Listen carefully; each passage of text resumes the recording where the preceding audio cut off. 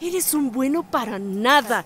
¿Cómo se te ocurre ensuciarte así la ropa? Me tienes harta con tus estupideces. ¡Ya, deja de llorar! No quieres que te vean así. Cuando le pegas o gritas a tus hijos, es más probable que sean violentos y fracasen en la escuela. Piénsalo bien antes de perder la calma.